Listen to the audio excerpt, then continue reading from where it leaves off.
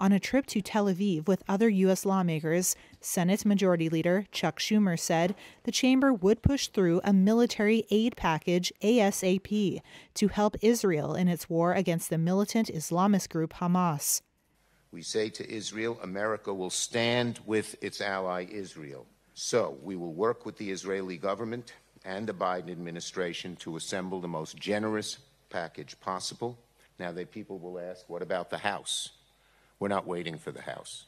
Schumer on Sunday said among Israel's requests are additional interceptors for its Iron Dome missile defense system, which has been operating nonstop, shooting down Hamas rockets from Gaza, and precision munitions. The needs, of course, are quickly evolving over time.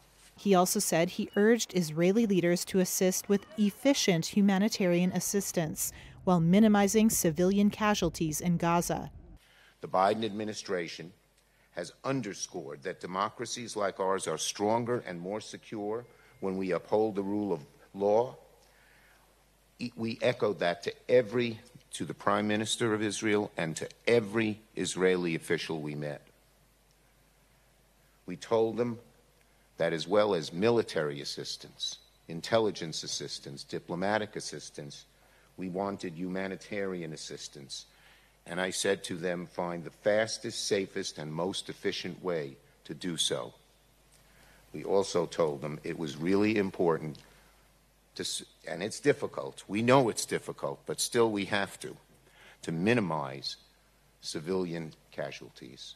Also on Sunday, White House National Security Advisor Jake Sullivan said the Biden administration hopes to push a new weapons package for Israel and Ukraine through Congress that will be significantly higher than $2 billion.